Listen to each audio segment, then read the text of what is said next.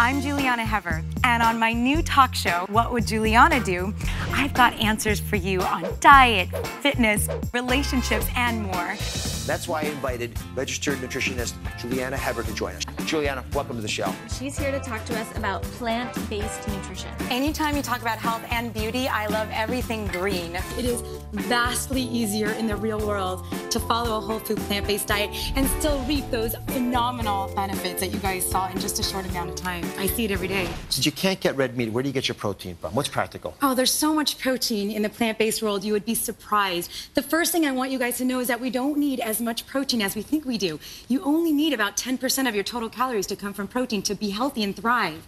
So we get too much in our diet anyway. But the plant kingdom is like filled with protein. I mean, you've got these leafy greens. You would never even know it, but leafy greens have almost half of their calories from protein. Beans yeah. is like a protein party. Lentils, tons of protein. My diet is a whole food plant-based or a vegan diet. So mm -hmm. basically, I want you to eat whole grains, legumes, tons of vegetables and fruits, nuts and seeds. So no meat whatsoever no processed foods.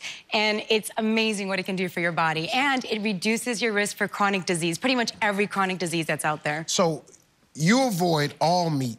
Yes, meat, dairy, eggs. All fish? All fish, everything with a mom or a face.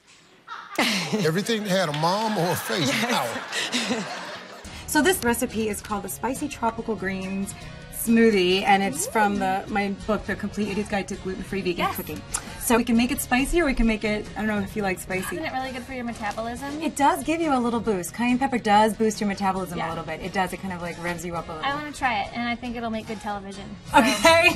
Hopefully if you like it, it'll be really good. It's like a burrito, but I happen oh. to be allergic to wheat. So instead of a regular tortilla, I use nori. Huh. High in iodine, low in fat, low in calories, and it's really delicious and kind of fun. It's like sushi, but a burrito style. So what I do, there's three different kinds, but this kind is the Mexican kind. We'll so we're going to take, oh yeah, okay, I'll make one. So everyone take a little bit of guacamole.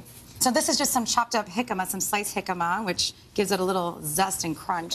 And then I do a little sprinkling of cilantro, and some people who don't like cilantro, you could also do just parsley or something like that. And then I'm going to finish it off with some salsa. Oh, I love course. salsa. We need salsa. So that's it. You ready? I'm not. I'm not a sushi chef, but you just basically grab the stuff. Mm -hmm and oh, like a burrito, good, just like that. And I eat it like this. I think it's absolutely spectacular. It tastes like sushi. Absolutely spectacular. All gluten is, is a protein, and it's a protein that you find in wheat, barley, rye, and sometimes oat. A gluten-free diet is really good if you have an allergy, an intolerance, or celiac disease.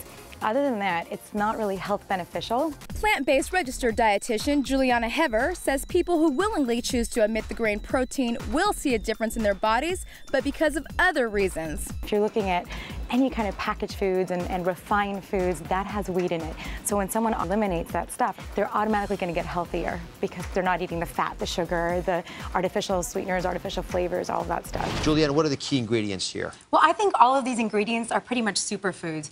But what's really special is that they work together synergistically to get absorbed and really help you out. Like, for instance, the almond butter is high in, in calcium and vitamin E, but it's also got fat in it. So the fat is going to help you absorb the fat-soluble vitamins that are in here. And protein, too. And protein, too. And then you've got in the citrus and the raspberries, tons of vitamin C. That's going to help you absorb the iron in the spinach. So they mm. all work together. Avocado, flaxseed oils. Julieanna, why are these so important to cleanse? Well, especially these fats, they're going to help you absorb the minerals and the, the vitamins as well.